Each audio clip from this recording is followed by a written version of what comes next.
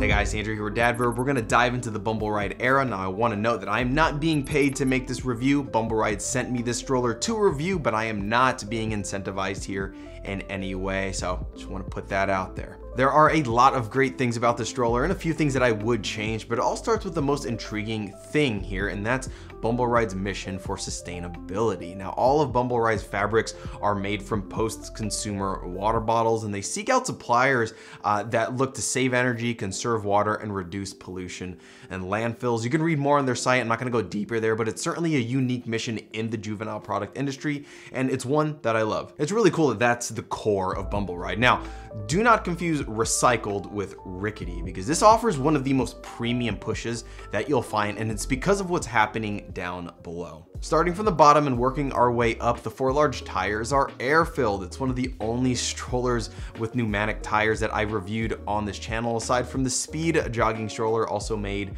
by Bumbleride. Um, the tires paired with individual suspension are what really help make this stroller glide. Now you can feel it when you press down on the stroller, you're holding it, you can feel it kind of bounce a little bit. It is so smooth on uneven sidewalks, gravel paths, grass, muddy soccer fields, cobblestone. The stroller glides over those things and it's truly the best option I've pushed on those types of services. Now, that's not to say that like this is the best stroller ever because those situations and, and those types of services, that might not matter to you at all. But what I am saying is that while air-filled tires aren't that common because they're kind of inconvenient, right? You do have to pump them every so often. They do offer the best terrain versatility. Now, in case you do need to fill the tires, it does come with a hand pump that you can use and it stores nicely in a zip pocket near the back of that large basket. The front tires can lock out for added stability during more rigorous activity like jogging or, or, hiking on rougher terrain. But that said, if you do plan on jogging more, uh, I would check out the Bumble Ride Indie because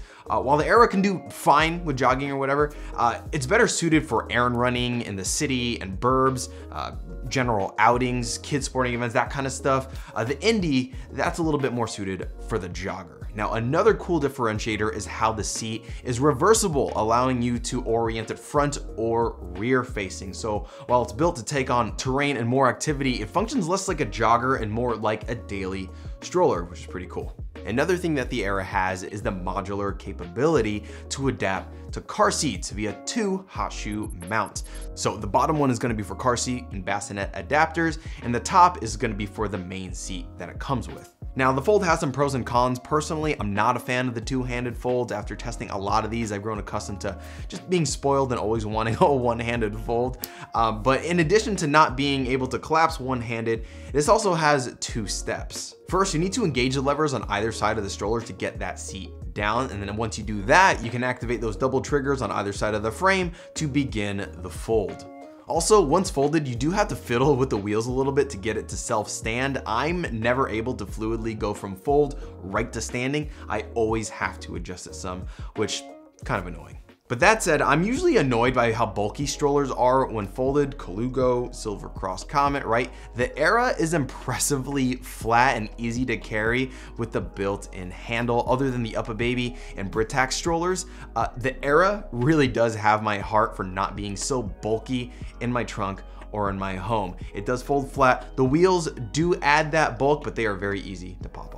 Going back to the seat is another cool feature where it can convert itself to a newborn ready form by untucking the panels hidden under the footrest and then snapping them onto the side similar to what we saw with the Silver Cross Comet. Very cool bit of versatility there to hold newborns and kids up to 55 pounds. One thing that I'm not a fan of though is just the strap recline system. It works fine, but it can be hard to raise back up when your little is seated. So you need to like coordinate with them a little bit. They're like, hey, like lean forward so I can put the seat back up. I have to say though that the stroller doesn't feel all that heavy. Usually sturdy strollers that can take some terrain uh, are a bit tankier, but uh, this isn't hard to lift out of the car and it pushes and turns with ease. Moving up, the canopy has a magnetic peep window and an extended canopy, but I do think that the coverage could be a little bit better there. Then lastly, the handlebar is made from molded cork, which is naturally waterproof, antimicrobial, and non-toxic. So uh, just another visual cue of Bumbleride's emphasis on sustainability. So overall, I mean, like I have to be objective here. I have to point out the pros and cons, but honestly, I would give this like a four, 4.5 out of five. Like this is a perfect option for active lifestyles in cities and burbs and handles exceptionally well on difficult terrain. So that's all I've got for you guys. If you found this video helpful, hit that like button down there. It looks like a thumbs up. For more videos and reviews, please consider subscribing to our YouTube channel. Thanks for watching this video. Come back for the next one. God bless. Later.